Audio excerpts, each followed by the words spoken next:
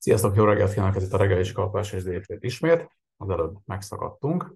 Én most gyorsan, ha már előbb látottakat elmondom újra. 74 szedek a tőzsdézőknek veszít, ma sem lesz semmilyen befektetési tanács, a kockázati nyilatkozatot és egyebeket az első induláskor már el tudtátok olvasni, aki tőzsdézik, az lehetőleg hírek a demóban tegye a mai és a napon. Szerintem a napokban fog eldőlni, hogy véget érte az eső trend, a korrekció, és folytatódik az emelkedő trend NASDAQ csártyáról beszélgetek, főleg technológiai vezérelt emelkedésről beszélek, vagy pedig kialakul a másik verzió, hogy válfejre alakul az indexeken, úgyhogy a napokban talán volatilisebb piacra lehet számítani.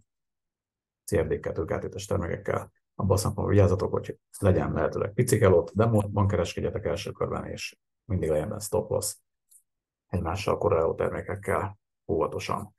Ha már skalpolunk, tegnap beszélgettünk erről röviden, a kisebb fejlő termékekkel tegyük, és a tőzsde továbbra is kockázatos, gyorsan ugrunk az MT 4-es felületre, de most nem a hosszú távú trédekről szeretnék beszélgetni, hanem inkább a skalpról, és az előbbi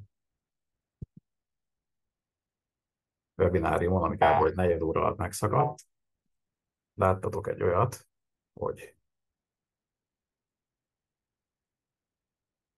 bizony,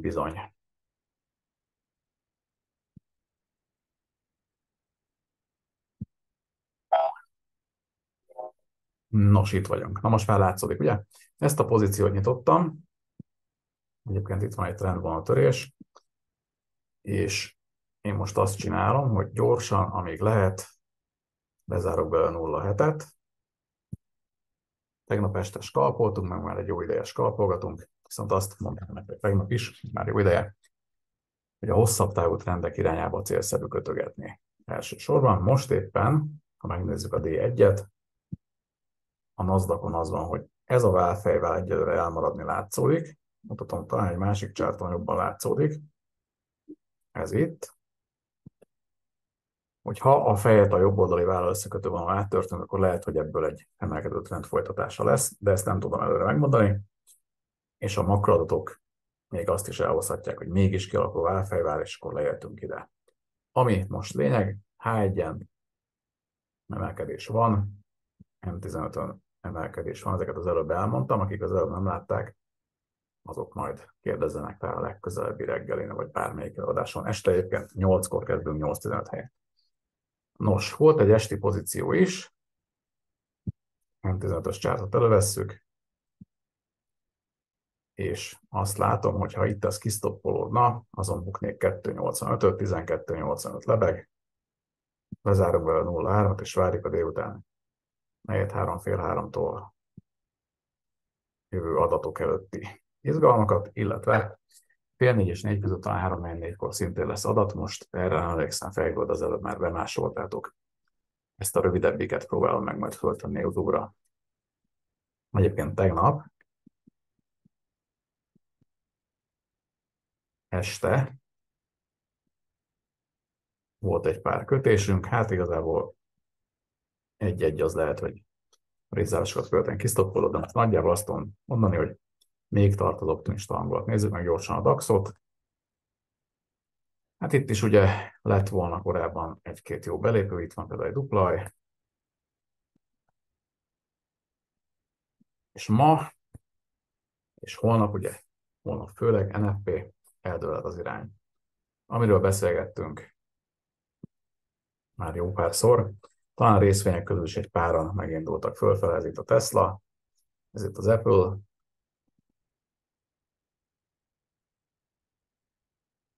valamennyire ő is itt egy dupla de meglátjuk hogyan tovább, és meglátjuk, hogy a mesterséges intelligencia őrület hogyan kitart-e, vagy nem. A Facebookon nem 15-ön például itt van az a válfej vál kérdés, hogy csak a fejtetőig jöttünk, vagy meneteltünk fölfele. Ez szerintem a napokban eldőlhet. És amit még említettem, napokban az az, hogy az EU uf, szerencsére erősödik, és a többi, és a többi. Nos, ha valaki esetleg tegnap példát van például DAX-ot, mi lenne, ha ezt a kékséget itt eltörölném, akkor nézzük, milyen belépők lettek volna. Volt egy emelkedés délőtt, ettől a ponttól, délőtt, déltől pontosabban, az esőtrend törésétől, itt volt egy fordított válfejvál, jöttünk, jöttünk szépen fölfele, ugye előtte volt ez a kis esés, sima válfejvából indult, most csak azt rajzolgatom, hogy nagyjából adat előtti várakozás esetében előfordult az, hogy csorgunk, csorgunk lefele. Lehet, hogy ma is lesz egy ilyen, nem tudom megmondani. Dupla top, trendvonalatörés, mehetett volna a short, egy dupla, egy picikét mehetett volna a long, és ezt követően pedig, ha mondjuk idehúzunk egy vonalkát, ennek az áttörése lehet egy jó longjelzés, ami itt egy picikét be is következett, de ekkor már éjszaka volt, és ugye inkább a nyitás környékét kéne vizsgálni. Hát most ugye ez csapkodásba ment át. Ha ez egy falas kitörés, akkor bizony-bizony ez nem egy jó jel. Én most ebben nem kötnék bele. Meglátjuk, hogy mondjuk a NASDAQ mit csinál.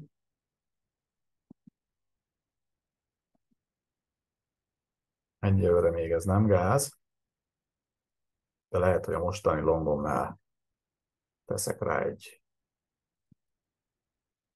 hát mondjuk egy, most csak egy szűkebb két pontos csúszót, mert hogy itt lefele mozdultunk el, megpróbál megvédeni a pozíciót, nagy valószínűséget ki fogják ütni, egyrészt mert szűk a csúszó, másrészt meg közelítjük ezt a ferde vonalat. Gyorsan visszakörülünk a DAX-ra, megnézzük, hogyan tovább DAX. Egy nagyon szűk skalppal megpróbálok gyertya aljakhoz, tehát stoppal trédelni egyet. Elképzelhető, hogy visszateszteljük a piros vonalat, vagy még a tetőt is, de ha ez egy fals kitörés, akkor jaj a longosoknak. Mindjárt megnézzük, hogy van-e még esélyünk egy dupla topra, tehát megrajzoljuk a második felét, vagy pedig fals kitöréssel búcsúzunk a longunktól, és elhasalunk egy 9 dollát. Ez ugye egy rendkövetős kap, de itt már nagyon óvatos vagyok, mert a fals kitörés miatt azért benne van a pakliban, hogy ez egy kis stop lesz. Menjünk vissza a nasdaq ha megtalálom. Itt már nagyon-nagyon közelítjük ezt a vonalat, ami egy picikét aggályos. Úgyhogy a DAX-nál még följebb igazítom a stoppot, hogy ne 9 dollár bukjunk el, hanem csak mondjuk hetet. És mindjárt eldől, hogy mit is csinál a piac. Most nem akartam így trédelgetni, de ez jött ki az előzőeket. Sajnos csak adott át, itt voltak, de este beszélgetünk már sok mindenről. Nasdaq csúszótól ezt elköszönünk, és ettől is el fogunk valószínűleg, de még ez nem történt meg. Jövőre nem nagyon látszódik nagy csoda, talán fél kilenc-kilenckor indult be a mozgás valamilyen irányba, de ha esetleg az emelkedő trendvonal törne, akkor lehet, hogy az adatokig inkább ilyen kiváró, csordogáló hangulat lesz, ezt nem tudom előre megmondani. De a nagy reggeli kitörés még elmaradni látszódik. Pedig ugye tegnap Amerika optimista volt. Hát, ha átragad ez most Európára is. Várunk.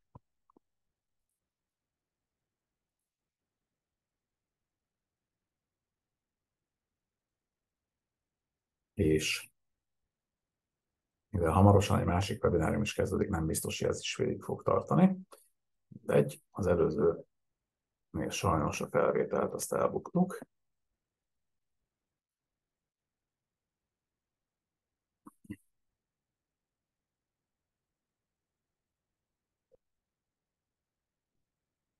Nagy mozgás nincsen sajnos.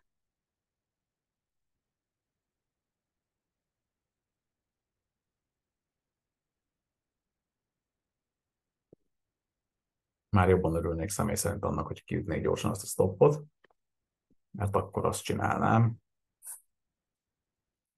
mellé zárnám ezt a pluszt, és akkor pozíció semlegesen, semlegesen zárjuk a délutánt. Ez nem volt egy nagy ötlet, de megnézzük, hogy mi lett az eredménye. Hirtelen ennek a csodálatos demoszálának. Mindenki kövessen el kereskedési hibákat. Ez a nagy semmi, amit itt megpróbáltunk összehozni, de hát ez van. Visszamegyünk a nasdaq hát ha ott történhet valami. Itt lett volna egy jó lehetőség a short belépőre, pár pont erejéig, de ezt most nem lépem meg, mert igazából nem mozog a piac úgy, ahogy szeretném. De egyelőre úgy néz ki, hogy a fals kitörés működött. Kérdés, hogyan tovább. Gyorsan megnézzük, hogy az euró-dollár mit csinál éppen. Ő is csordogál lefele. Szerintem várjuk meg a híreket, és aki kezdő, az még a hírek alatt se kereskedjen. És nézzük meg, hogy a DAX mit csinál újra. Semmit. Hát ez most unalmas, viszont aki elméletre vágyik, az nézze vissza tegnapi estit például, vagy valamelyik reggelit. Nos. Amit még itt esetleg vissza tudunk nézni, az az, hogy hogyan lehetett volna kereskedni például tegnap. Van egy pár dolog berajzolva, itt van egy szintelesés, ugye reggel csordogáltunk, csordogáltunk, ide is beúszhatok egy feldevonalat.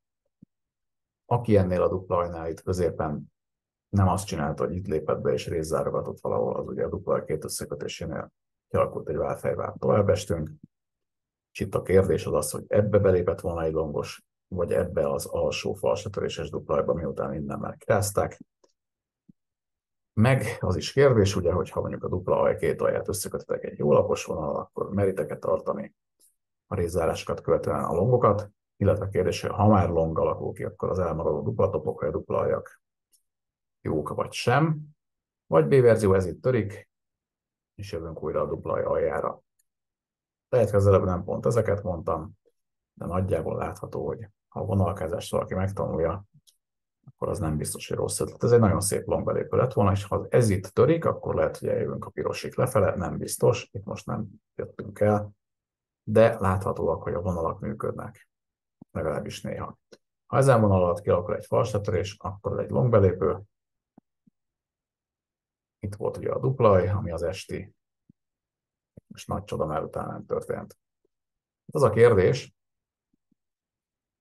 hogy vajon ezeket a vonalkákat behúzva, ha az emberek nyomogatják ott az adásgombokat, akkor az jó ötlete, vagy nem. Vagy ez a fals letörés ezzel a célára, ahol most kéne rész jó ötlet volt vagy sem, a többit pedig hagyni futni, esetleg addig a dupla nyakvonaláig, vagy az aljáig. Ezeket én nem tudom megmondani, de a részzárásos technikák ezeken a csártokon eddig a pontig működtek volna. Most meg már késő ezt lereagálni. Hát ennyit akartam mondani kb. ma. Ez most rövidre sikeredett, de a kettő együtt talán meg volt a 30 perc. És este 8 órakor találkozunk. Illetve, ha van kérdés, arra még meg fogok válaszolni.